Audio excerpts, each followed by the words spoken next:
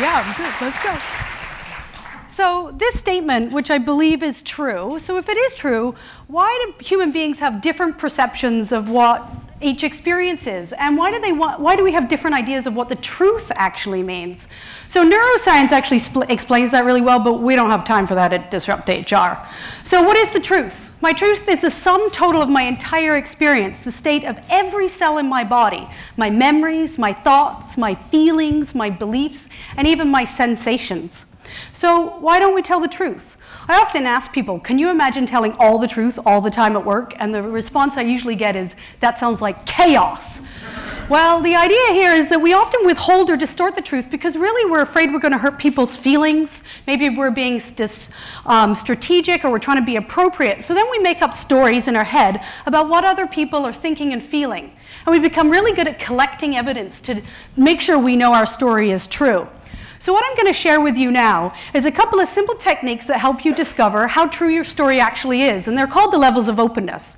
So the first level of openness is that I am oblivious that there's a problem. I have no idea if there's conflict or if there's an issue. But then when I move from unaware to aware, I'll have a sensation. It might be a wiggly feeling in my tummy, or perhaps the hair at the back of my neck stands up. And I, I know, oh, there's actually a conflict happening. So I, that's when I have a choice. So I can choose a few things. My first choice could be that I'm going to withhold, which means I'm not, I know what's going on, but I ain't going to tell you.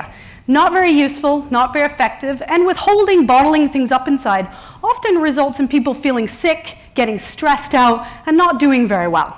So, imagine I'm at work and my boss finished giving this speech the other day, and he mentioned everyone on the team except for me. I'm mad. So I remember this presentation from today that I have to tell all the truth all the time, and I storm into his office, and I'm going to tell him exactly what I think of him. I look at him, and, I'm like, You're a jerk. Can't imagine that's going to go over very well with my boss. In fact, it's probably going to make things a whole lot worse. This level of openness is often called being blunt. It's not very open, and it's usually not very useful. So the next level of openness is to identify the feeling. My boss didn't mention me in that speech. How do I feel about that? This is also called behavioral modification. Um, marriage therapists love to use this in counseling sessions. So instead of saying, calling my boss a jerk, I might say, towards you I feel dislike. That's going to be a heck of a lot better than calling my boss a jerk, and likely will provoke him to say, well, why do you feel dislike towards me?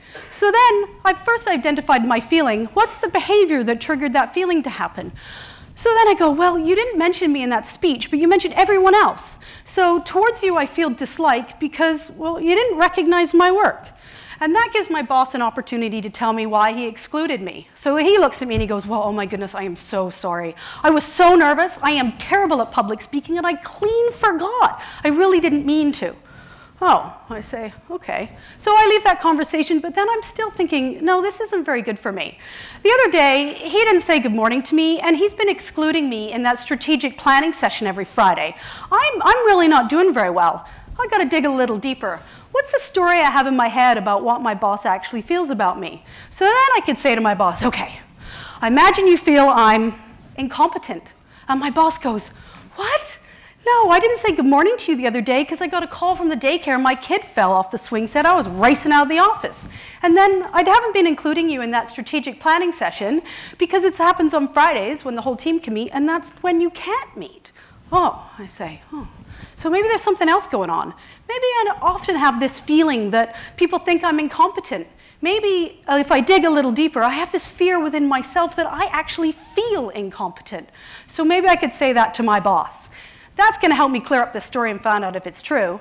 And then maybe I could pause and go, hmm, I wonder if there's a pattern here. Do I often have this feeling of feeling incompetent?